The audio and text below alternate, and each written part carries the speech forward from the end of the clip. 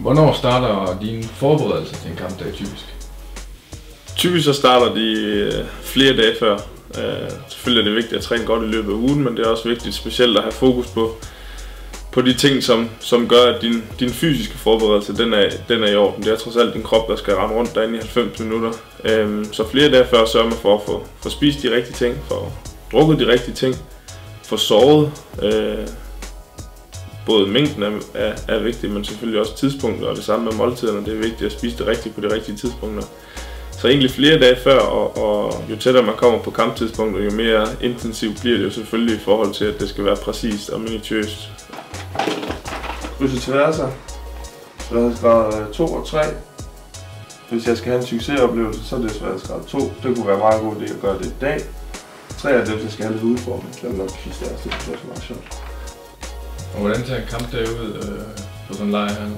Ja, det er selvfølgelig lidt anderledes. Øh, nu har jeg en anden værelseskammerat end min normale kæreste hjemme og, og et lille barn, men øh, Fischer gør heldigvis ikke så meget væsen ud af sig, så, så selvfølgelig så har man nogle øh, sine, sine kammerater tæt på og, og, og kan tale lidt mere med dem i forhold til, om der er nogle, nogle små ting, nogle små detaljer ude på banen, men, men ellers foregår de på samme måde stort set. Sørg for at få spist de rigtige ting på de rigtige tidspunkter hernede. Vi har et, et bredt udvalg af, af alle mulige forskellige øh, øh slags kød og, og kulhydrater nede i, i buffeten, så, så det burde ikke være det store problem. Øh, søvn hernede, man sover godt på madrasserne, øh, så egentlig er, er det anderledes, der er, det er, at, at man, man, er lidt, man er lidt tættere på, på sine holdkammerater i løbet af dagen og, og kan gå og, og, og snakke lidt med dem.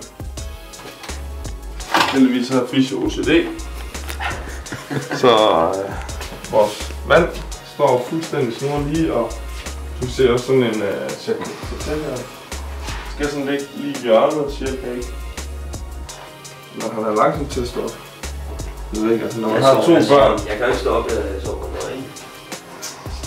Det er lidt ulækkert, når man sover så tæt. Mængden af ritualer og rutiner bliver mindre, jo ældre man bliver. Nu, øh, nu er jeg efterhånden talt mig, talt mig til, at jeg er tredje ældst hernede, så, så øh, jeg har efterhånden nogle, nogle professionelle år på banen. Øhm, men jeg har egentlig ikke decideret øh, nogen rutiner. Jeg kan starte en rutine op, indtil jeg så synes, at, at det gik tilpas dårligt i en kamp eller en træning til, at jeg skrotter den igen. Så egentlig så, så prøver jeg hele tiden bare at gøre det bedste for, for mig selv, og er der noget, der lykkes godt, jamen, så forsøger man selvfølgelig at, at trække det den retning igen, men, men jeg har ikke noget som snører højre fod først, eller putte en speciel benskin på, eller et eller andet. Det, det er egentlig meget lus omkring. Så der er ikke noget, du skal igennem på en kampdag? Ikke ud af, hvad man, hvad man forventer, at jeg gør. Det er der ikke. To på støvler.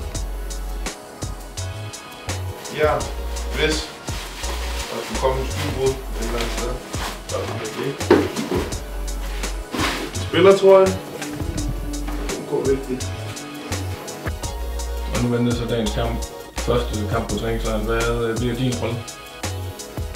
Jamen som jeg sagde, sagde før, så, så er jeg efterhånden en af, en af de gamle, og det skal smitte af på mig ude på banen også. Øh, jeg har, en, har spillet med en ny makker op front, øh, og jeg kender, jeg kender, hvad jeg har været her længere tid, systemet bedre end han gør.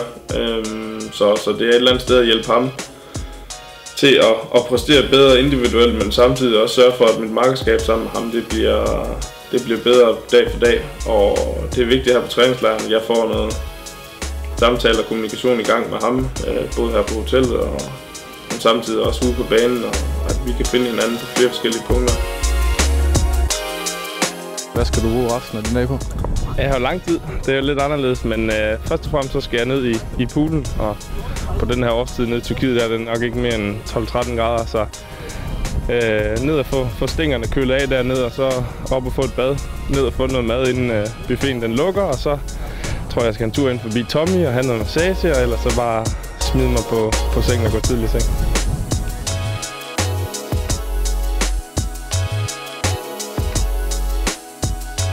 Godnat, svo gott, takk fyrir.